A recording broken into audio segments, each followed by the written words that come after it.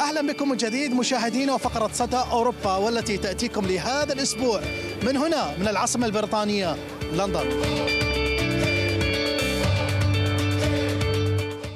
أخيرا اقتنعت الأندية الإنجليزية على ضرورة استخدام تقنية الفيديو خلال الموسم المقبل الأندية الكبيرة التي رفضت اللجوء إلى الفار قبل ستة أشهر وافقت بلا تردد بعد أن طرح الموضوع للتصويت من جديد It's correct, penalty. Okay.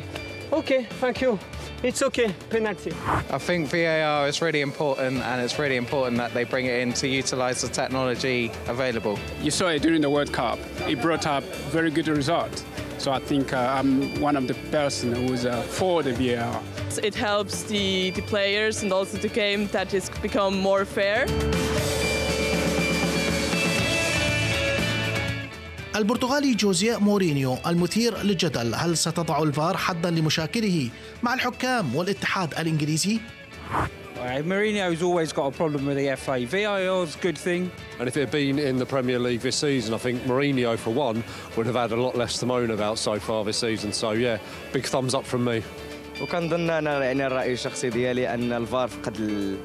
الكره فقدت الحلاوه ديالها مع الفار يعني خاص تبقى على طبيعه ديالها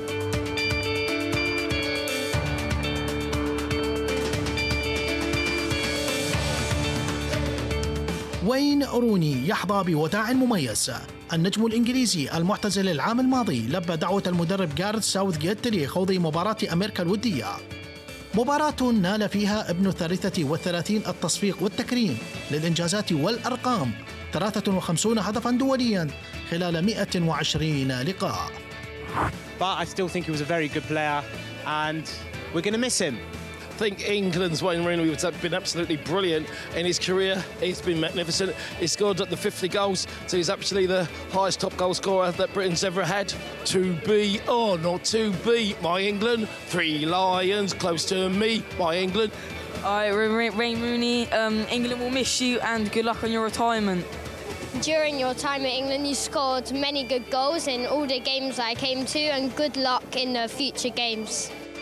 We love you, Rooney. Yeah, miss you every day, Rooney. Every damn day. We love you so much. Every Damn day. Mwah.